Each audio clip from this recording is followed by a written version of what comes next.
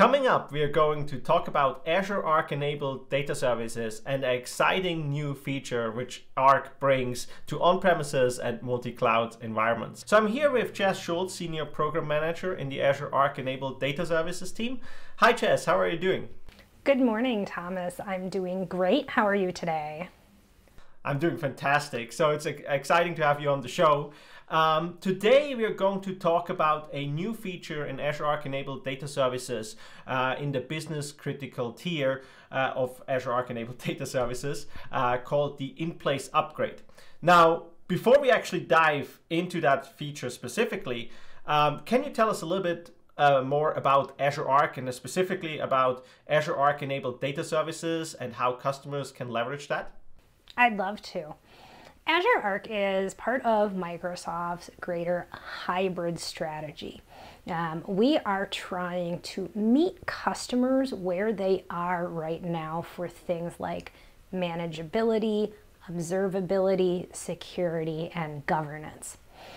We recognize that many customers want to move to Azure, but um, whether it be for data sovereignty issues, regulatory requirements, um, government requirements, they may not be able to. So, with that in mind, the Azure Arc family of products and Azure Arc enabled data services in particular really brings Azure to the customer. And we can do that um, not only on premises, but also in edge locations and even other publicly available clouds. So building on top of that, Arc-enabled data services is really striving to bring the entire Azure PaaS experience with data uh, to the customers on top of that Azure Arc offering when we you know, encapsulate a full platform as a service offering and make it available, it's um, allowing us to bring benefits like the always current database engine that we'll be discussing today, uh, built in high availability and disaster recovery, um, the elastic scale that you can get with Azure, and even the cloud billing model. Oh, that's fantastic. And to me, it's still incredible that we can bring these Azure PaaS services to customers in their on-premises environment and even in the multi-cloud environment, because that allows them to build like a consistent architectures for their application and environments, uh, and they can actually rely on these uh, higher level services. Now, um, we're obviously here to talk about Azure Arc enabled data services and the new feature uh, called in place upgrade or always current. Can you talk us a little bit uh, uh, more about this? Absolutely. So with Azure Arc enabled data services uh, in place or automated upgrades being available, we're bringing the experience much closer to that of what's available in Azure right now. So in Azure, when you have a data service like an Azure SQL database or an Azure SQL managed instance, uh, you know you're always on the latest version of the database engine. You get those security upgrades automatically. Um, as an administrator, you don't have to do that work. So with the launch of the business critical tier in the Azure Arc enabled SQL managed instance, we're bringing that same experience to on-premises environments, edge environments, multi-cloud environments. So this is that same truly PaaS experience. Um, you as a infrastructure admin, data admin, developer, uh, don't have to spend the time to plan and do the upgrades. They are simply provided to you, making sure that you always uh, have the latest features and the most recent security enhancements. Um, so it, currently, the data control plane upgrades are done by the user. The managed instances can then be automatically upgraded after that's done.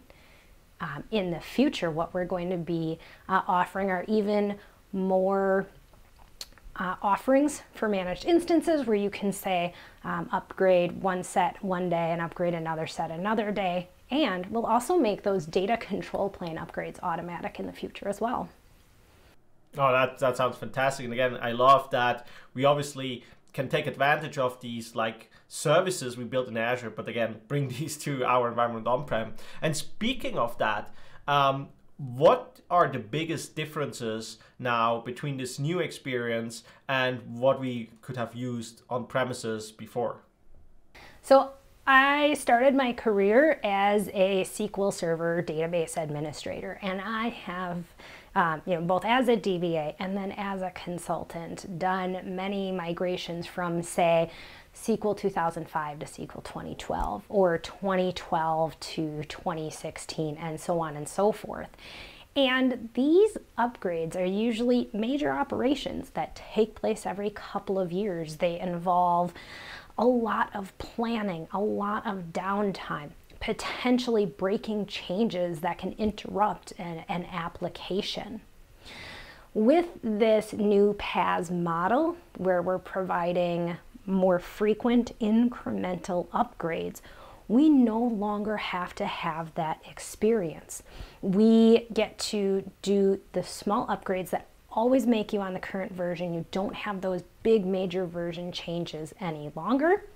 It really allows uh, a, a data administrator to kind of scale out.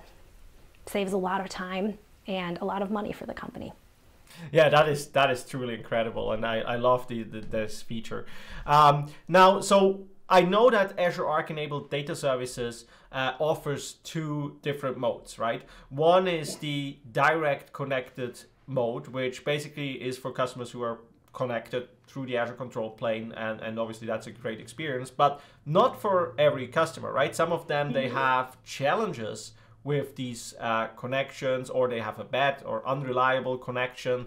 Um, so there is also the indirect connected mode. Now, my question about the in-place upgrade feature, what is the difference when you run in one or the other mode? Well, the great news is for customers that this in-place upgrade feature works in both modes. We realize that being able to be on the latest engine and have all the security updates is uh, a really important feature. So we've made this available for both directly connected and indirectly connected customers. Uh, we also, when publishing our images, do publish them to our Microsoft Container Registry, but we also allow customers to pull them into their own private registries. So that's a way that we can enable both the directly and indirectly connected scenarios. Okay, that is awesome because again, this allows us to basically uh, maintain rolling upgrades in, in both scenarios, and our customers can really use that uh, depending not depending on the on the mode itself. Now, you now we're coming to the even better part.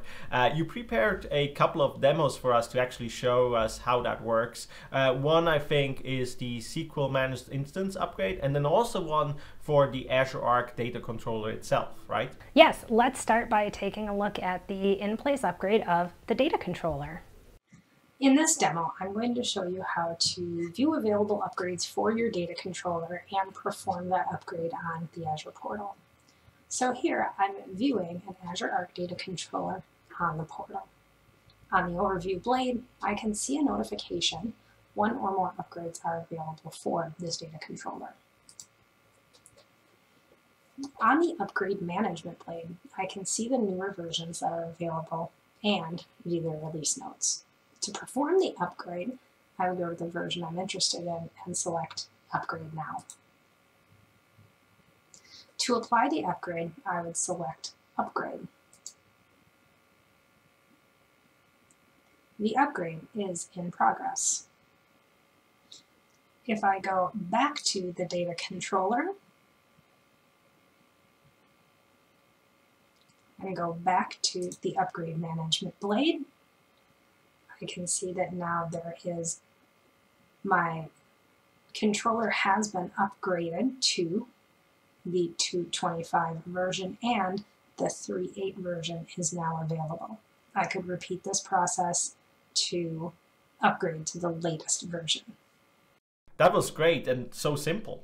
We've tried to make that experience as easy as possible for our customers. So, do you have something else to show us? So, after we've updated that control plane, we also have to update our Arc enabled SQL managed instances. We have this in place upgrade feature where when you set the managed instance version to automatic, it automatically updates those instances. Let's take a look at that demo. In this demo, I'm going to show you how to enable automatic upgrades of your Azure Arc enabled SQL managed instance. For this example, I have a data controller with two managed instances built, MIGP002 and MIGP004. The first step to enable auto upgrades is to set the desired version property of the managed instance to auto. I do this with the AZ SQL mi-arc upgrade command passing in the parameter desired version and setting that to auto. After that runs, I can view the SQL MI spec.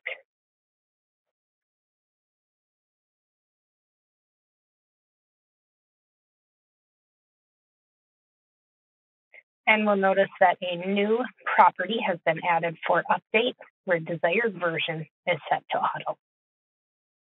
With this set, after a data controller upgrade is performed, within five minutes, the upgrade process for every managed instance attached to that data controller with the auto version set will begin upgrading. Let's see this in action. I'm going to upgrade my data controller. So I'll start by viewing the available upgrades.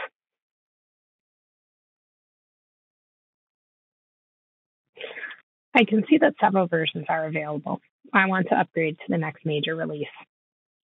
I'm going to do this with the AZ ArcData DC upgrade command. I can see that my data controller has been upgraded. The image tag is now 225.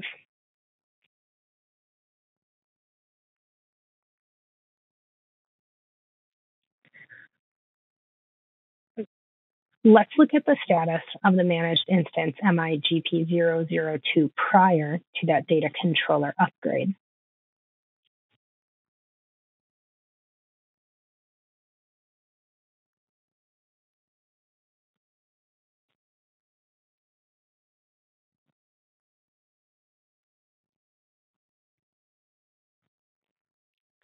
Before the upgrade began, it was in the state ready with the version ending in 1 27. Now that it's been a few minutes since the data controller upgrade finished, let's check the status of the managed instance.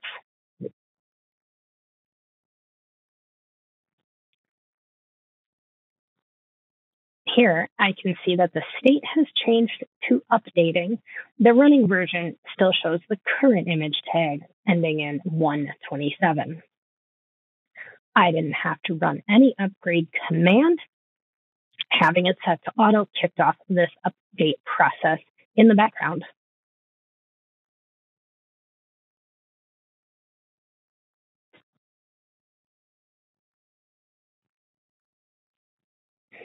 I want to check the status of the other managed instance on this data controller, MIGP004. This is also upgrading.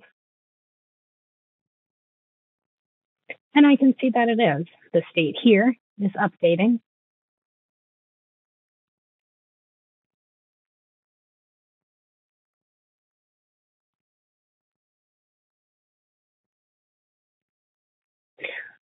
I'm going to check on MIGP002 again.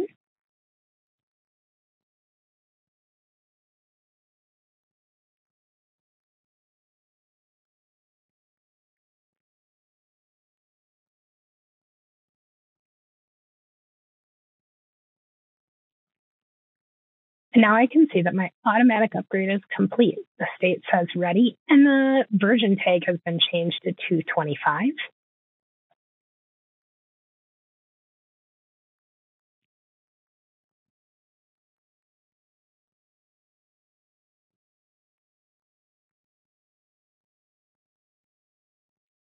I can see that MIGP004 has also been upgraded automatically to the latest image tag.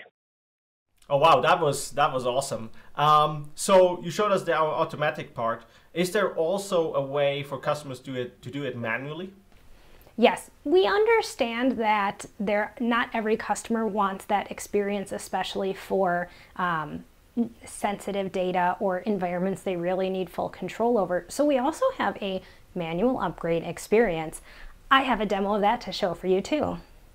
In this demo, I'm going to show you how to view available upgrades for your Azure Arc enabled SQL managed instance and perform the upgrade using the Azure CLI. Here, I'm in the portal looking at an Arc enabled SQL managed instance.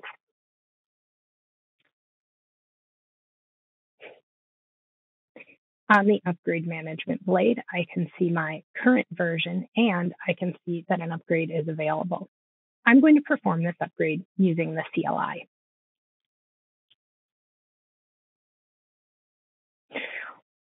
When I'm ready to begin, I run the AZ SQL mi-arc upgrade command.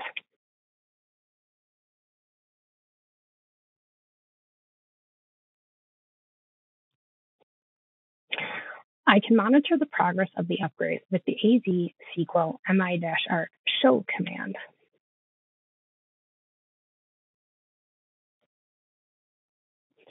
During the upgrade, the state will show updating and the running version will remain equal to the current version. The upgrade will happen with minimal downtime. In the general purpose tier, the containers in the pod will be upgraded and re-provisioned.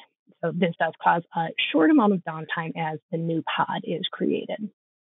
In the business critical tier with multiple replicas deployed, the containers in the replica pods are upgraded and re-provisioned.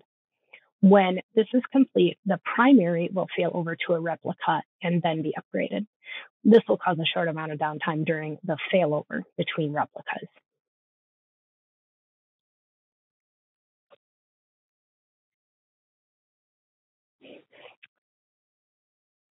The upgrade is complete. I can verify the upgrade is complete by running the AZ SQL mi-arc show command again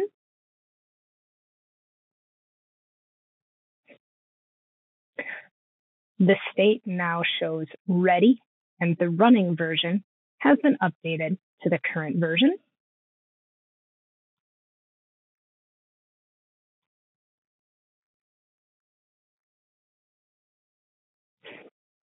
In the portal, I can see that my managed instance is now up to date to the latest image. Thank you, Jess. That was great. Um, can you tell me a little bit what challenges do we address with these features for our ARC customers? This in place upgrade feature really brings both direct and indirect cost and time savings to our customers. By enabling automatic upgrades, it allows a DBA to really scale out. They're able to do more work, right? More upgrades uh, in less time. They also allow the DBA and the application developers and the analysts to take advantage of new features as soon as they're available, right? You don't have to, with your application, wait for the data team to plan the release to the next major version. It's just there in a much uh, faster period of time. Um, it also really helps avoiding that lengthy and sometimes costly downtime during the major upgrades, um, especially if you know you had to ever move hardware. Um, again, these take place in place. There's minimal downtime during the upgrades, and you have the latest and greatest right away. This has been great. Thank you very much, Jess. Uh, we have two more videos coming up with two more exciting feature sets for Azure Arc enabled data services. One really is about uh, business continuity um, using high availability DR, automated backup and restore, and the other one showing security features directly integrated into the solution. Uh, but in the meantime, if I now want to learn more about Azure Arc enabled data services and in-place upgrade in, in especially, uh, where do I go? I suggest you start with our documentation, which is going to be at aka.ms slash arcdatadocs. You can also go out to the Microsoft Learn content, uh, that's aka.ms slash arc data learn, where we have these great step-by-step -step modules that introduce you to uh, all of the concepts and how to build on them. And when you're ready to start it hands-on, you can access a trial version and explore what Azure Arc has to offer at aka.ms slash arc trial. Thank you very much. And thank you everyone watching.